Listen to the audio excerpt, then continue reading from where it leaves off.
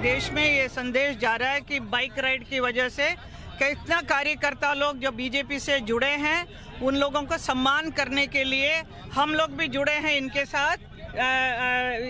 और ये bike rally पूरा देश को एक अच्छा सा न्यूज़ जाएगा कि हम हम और कितने यूथ यहाँ के जो नौजवान लोग भी जुड़े हुए हैं इस हमारे